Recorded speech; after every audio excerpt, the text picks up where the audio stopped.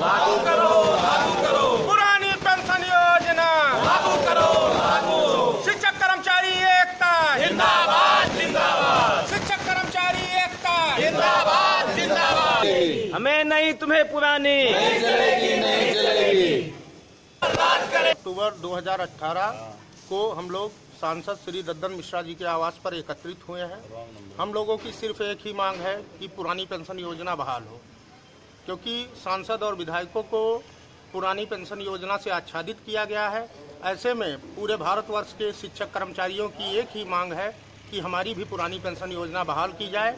जो हमारी पुरानी पेंशन योजना बहाली की मांग को पूरा करेगा, उसको ही शिक्षक कर्मचारी सत्ता तक पहुंचाएँगे, नहीं तो सत्ता से नीचे लाने का प्रयास भी हम लोग करेंगे।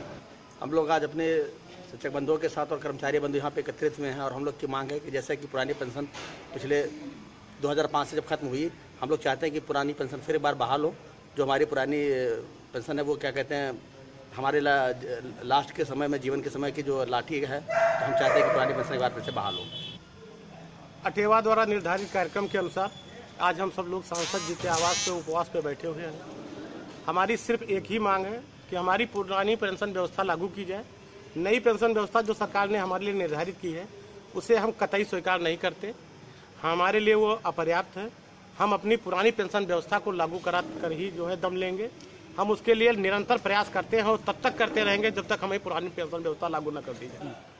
आज अटेवा के बैनर तले पूरे देश में सभी समस्त सांसद आवास पर कर्मचारी, अधिकारी और शिक्षकगण जो भी पुरानी पेंशन से आच्छादित नहीं है 2005 के बाद नियुक्त हुए हैं, धरना प्रदर्शन कर रहे हैं, उपवास रख रहे हैं और पुरानी पेंशन बहाली की मांग कर रहे हैं।